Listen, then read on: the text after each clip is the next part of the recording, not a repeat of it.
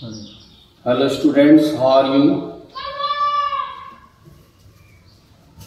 मुझे उम्मीद है कि आप इस टाइम को बहुत फ्रूटफुली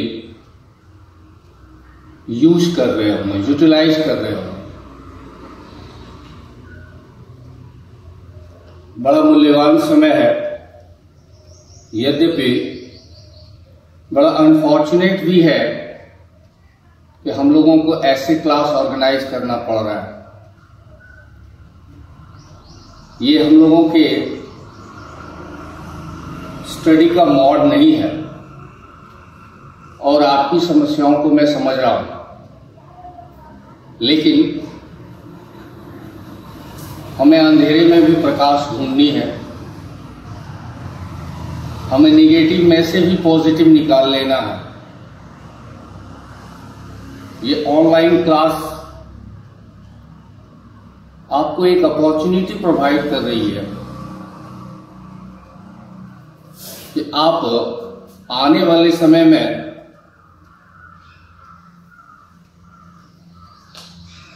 जो हाई क्वालिटी मीडियम आने वाले हैं स्टडी के, उसको अभी ही इम्पार्ट करें, उसको अभी ही ग्रहण करें। यह एक मौका है। Many more times I have told you that there are two types of people in world. One for whom the problem remains the problem and the other for whom the problem becomes the challenge.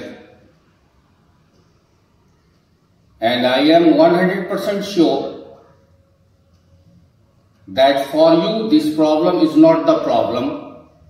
This is a challenge and you will accept it. Without wasting your time, since it is our first lecture, therefore in our first lecture I would like to introduce you something about your syllabus and thereafter from the next lecture we shall start our study. पहले तो being a teacher it is our responsibility to make you aware about your social responsibility as well जैसा आप जानते हो, हमारा देश, हमारा समाज, हम और आप कोरोना वायरस से जूझ रहे हैं। हमें इससे लड़ना और हम लोग जीतेंगे। We can and we will इसके लिए केवल और केवल आपको कुछ सावधानियाँ बरतनी है। अपने हाथों को बार बार धोते रहें साबुन से। सोशल डिस्टेंसिंग मेंटेन करें। सोशल डिस्टेंसिंग मतलब अपने परिवारजनों से भी एक दूरी में रहें। बाहर से जब घर आए तो अपने कपड़ों को साफ़ करें, अपने हाथों को साफ़ करें। आप परिवार के लोगों के लिए रिस्क नहीं बन सकते। अपनी जान बचाए, अपनों की जान बचाए। सोशल डिस्टेंसिंग मेंटेन करें। समाज में अन्य लोगों को इसके प्रति जागरूक करें, it is your responsibility. You are not a machine you are a human being whatever I have taught you, now it's your turn to reflect those, those knowledge in your society. आपको मैंने जो सिखाया पढ़ाया है उसमें केवल किताबी शिक्षा नहीं है ये आपको भी पता है मैंने कई बार आपको सामाजिक चीज़ों के बारे में बताया है और जो मैंने बताया है आपको, उन चीज़ों को प्रायोगिक तौर पर दर्शाने का ये एक बड़ा अच्छा मौका है। आप समाज को जागरूक करें, लोगों को बताएँ कि कैसे खुद को सेफ़ रखें और दूसरे को अनसेफ ना करें। ये तो हुआ अभी की बात। आप सबको ये भी मालूम होना चाहिए कि अपनी ऑनलाइन क्लास एक लंबे टाइम के लिए नहीं चलने वाली है। मुझे पूरा विश्वास है कि यह अंधेरा छटेगा मुझे पूरा विश्वास है कि within twenty thirty days both of which, both of us will be together. As before, आपको एक काम ज़रूर करना है कि ये जो प्रोसेस हम लोगों ने शुरुआत की है, आपको YouTube पर देखना पड़ रहा है। अपलोडेड वीडियो को, उसको अगर हम लोग लाइव करना चाहें, उसका एक रास्ता है, वो आपको मेरे से ज़्यादा पता है। क्योंकि कम से कम इंटरनेट की, मोबाइल की जानकारियाँ आपको भी मालूम है कि मेरे से आप सबको ज़्यादा ज़्यादा। आप कम से कम कोशिश करें कि कम से कम थाउज़ेंड सब्सक्राइबर हो, ताकि अपनी क्लास लाइव हो पाए। एक हज़ार सब्सक्राइबर होने के बाद क्लास लाइव हो जाती है और थोड़ी सी जो इनकॉन्वीनियंस है हम लोगों के बीच की, वो भी खत्म हो जाएगी और मैं लाइव आपसे बात कर सकूँगा, आपकी क्लासेस ऑर्गेनाइज कर पाऊँगा। इसलिए चैनल को सब्सक्राइब करें, इसको एक हज़ार के ऊपर लेके जाए, ताकि हम लोग एक दूसरे से प्रॉपरली इंटरेक्ट कर पाए। दूसरी बात एक this is a golden time to do some self introspection you might be remembering that in the past I have many more times told you that we are completely aloof of one thing and that thing is that self-introspection. हम आत्मचिंतन नहीं कर पाते हैं। सुबह coaching जाते हैं, दोपहर कोचिंग जाते हैं, शाम कोचिंग जाते हैं। कोचिंग के दिए हुए होमवर्क को तैयार करते हैं, अपनी सेल्फ असेसमेंट करते हैं। लेकिन एक चीज़ नहीं कर पाते हैं। ये जानने की कोशिश नहीं करते हैं कि हम कहाँ तक पहुँचे और आगे हमें कहाँ जाना है। तो ये बड़ा ही अच्छा मौका है। आप फ्री हो, थोड़ा सोचो कि आपकी स्टडी कैसे चलनी चाहिए। कौन सा बेहतरीन रास्ता गाइड तो मैं करूँगा? आपको गाइड करता रहूँगा कैसे पढ़ना है, एक ही सब्जेक्ट इंग्लिश की बात नहीं कर रहा और सारे सब्जेक्ट्स में। और इसके लिए हम लोग एक साथ, हम लोगों ने एक कोलेब्रेशन किया। एसआरडी क्लास के नाम से आप चैनल सर्च कर सकते हो, चंदन सर से। आपकी बातें हो सकती हैं। कोशिश क्लासेस के नाम पर पंकज सर और हम हैं। पंकज सर के गोल्डन क्लासेस आपने मिस किए हैं पहले। आई होप कि ये बड़ा अच्छा मौका है पंकज सर को भी जानने का।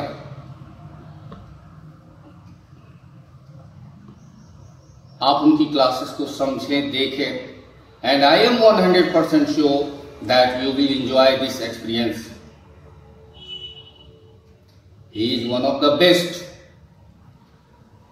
so try to listen to him try to get more and more whatever he teaches you.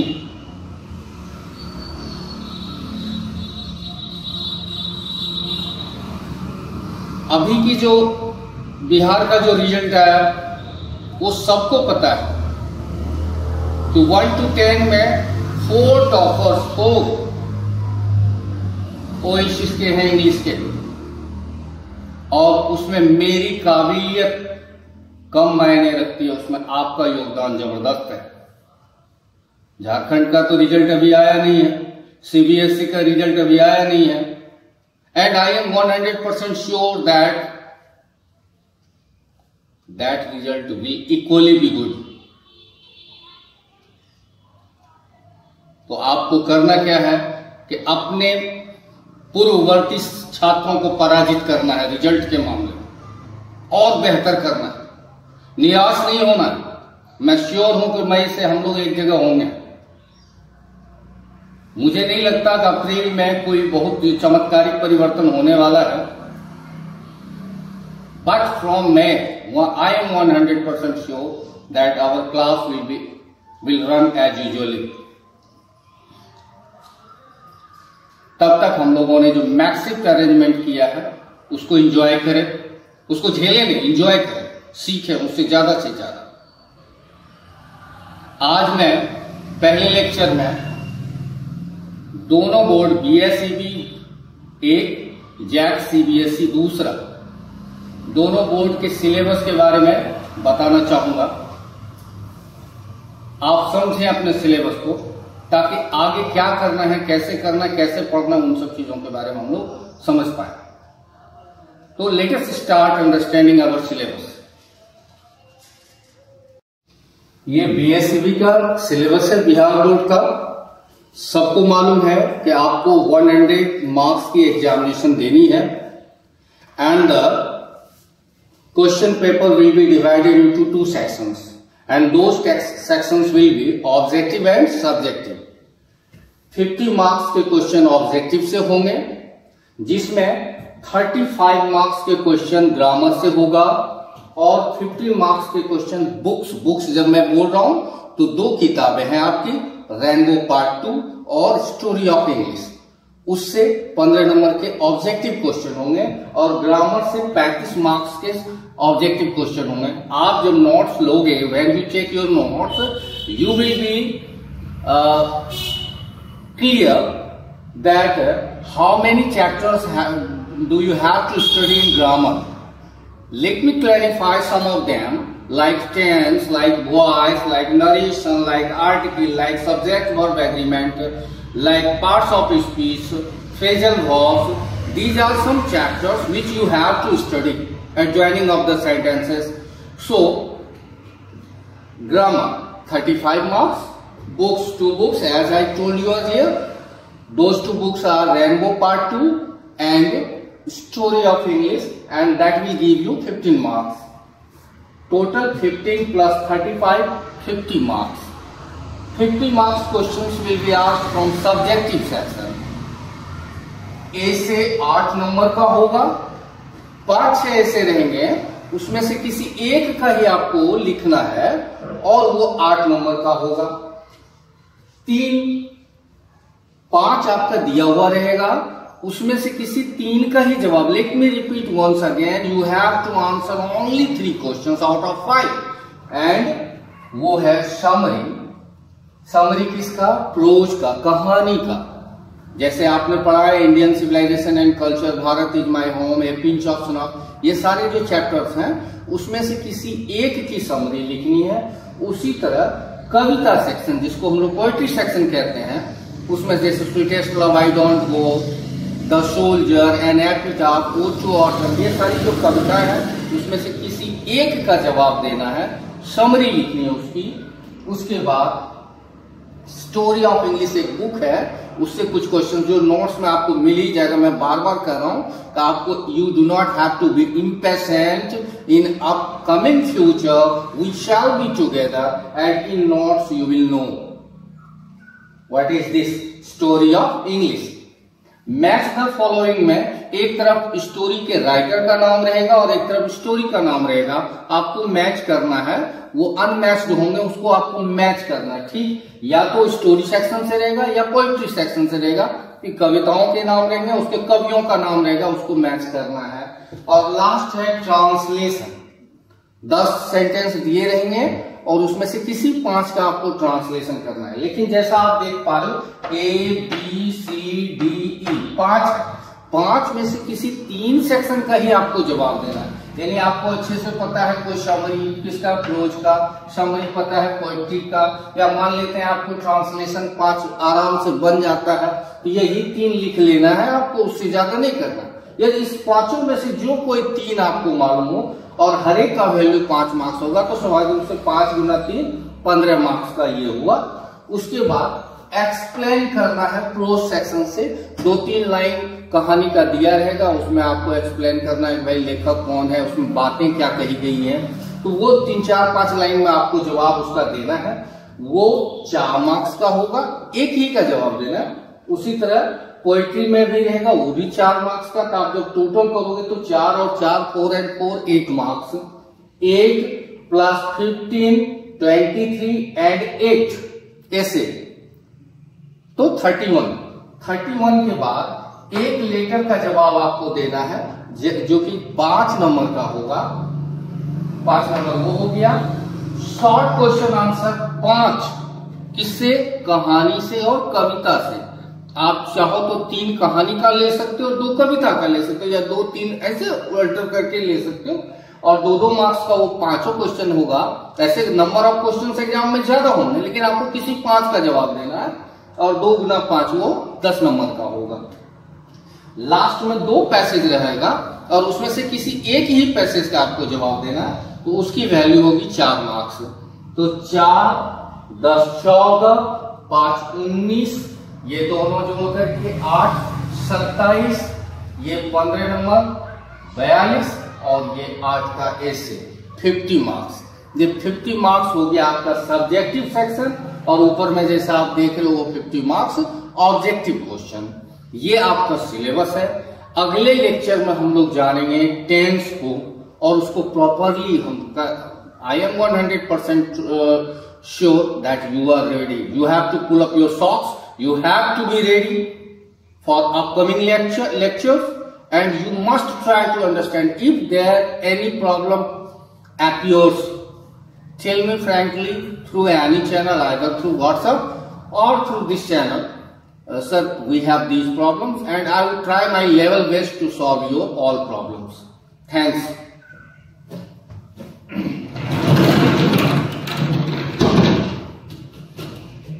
ये है सिलेबस जैक सीबीएसई का।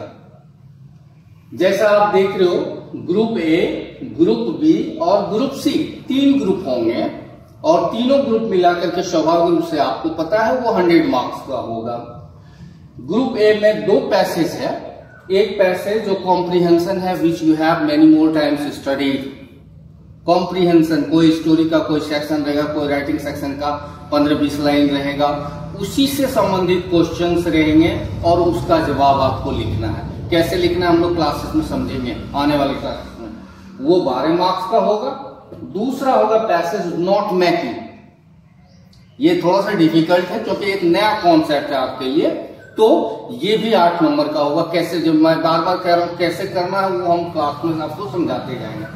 तो बारह प्लस आठ जैसा आप देख लो passage section A group A आपका बीस नंबर का होगा पैसेज का। दूसरा ग्रुप है group B writing skill writing skill में क्या क्या है वो देखेंगे. नोटिस और advertisement let me repeat once again notice और advertisement it means you have to answer either the notice or the advertisement not both and that the word limitation will be of 50 to 60 words तो वो पाँच number का रहेगा. There will be a letter and the word limitation is 100 to 120 words and that will be of 10 marks. There will be an article. The word limitation is 150 to 180 words. That will also be of 10 marks. Report. The word limitation is again 100 to 150 words and that will also be of 10 marks. Total 10, 10, 10 plus 5, 35. 35 plus 20 two passages, 55. Group C is from the book section Flamingo and Vistas. You have to study two books and I am 100% sure that all of you is, uh, are aware about this fact. Those two books are Flamingo and Vistas. From Flamingo, you will be given the questions that will give you 30 marks and the distribution of question is such there will be a long question that will be of 10 marks. There will be five short questions that will uh, that will be of 10 marks as well. 2 to each. तो 10 plus 10 from pros section जैसा आपको मालूम है कि flamingo में दो section है कहानी और कविता। तो 20 नंबर के क्वेश्चन रहेंगे कहानी प्रोज सेक्शन से। जैसा हमने कहा आपको कि 10 नंबर तो लॉन्ग आंसर से रहेगा और पाँच शॉर्ट क्वेश्चन आंसर रहेंगे दो दो मार्क्स का तो वो 10 तो 10 प्लस 10 आप जोड़ते हो तो 20 मार्क्स का।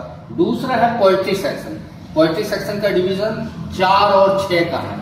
एक extraction you will have to answer one extraction extraction में समझा दू, आपको पता भी है कि चार लाइन कविता का रहेगा, उसमें से आपको जवाब देना है जिसके कवि का नाम क्या है, भाव क्या है, ये सारी चीज़ें। वो एक एक्सट्रेक्शन का जवाब देना है और तीन शॉर्ट क्वेश्चन आंसर रहेंगे दो दो नंबर का तो दो गुना तीन यानी छह। छह प्लस चार, दस। दस नंबर की कविता सेक्शन से बीस नंबर का कहानी। अब रही बात विस्टास का। विस्टास से पंद्रह नंबर है। एक लॉन्ग आंसर टाइप क्वेश्चन रहेगा, सात नंबर का। Let me repeat once again there will be a long type question and that will give you seven marks and remaining eight marks will be asked from short question answer there will be four short question answers and two each means two into four, eight. Eight plus seven, one long answer. Eight plus seven, fifteen marks this is your syllabus. अब अपने syllabus को हम लोग अगले lecture से smoothly start करेंगे। हम writing skill में घुसेंगे। राइटिंग स्किल समझाने की कोशिश करेंगे। क्लास में भी कुछ बातें हो चुकी हैं। हमने स्टार्ट भी कर लिया ऐड तो पढ़ ही लिया था क्लास में। लेकिन फिर से मैं नोटिस सेक्शन से आगे बढ़ूँगा अगले लेक्चर में। और आई होप कि आप इस मौके को ज़्यादा से ज़्यादा भुना पाए ज़्यादा से ज़्यादा समझें प्रॉब्लम को किसी भी मीडिया से आप मीडियम से हमको इन्फॉर्म कीजिए। व्हाट्सएप ग्रुप भी है यूट्यूब के ऊपर भी आप अपनी टिप्पणियाँ भेज सकते हैं।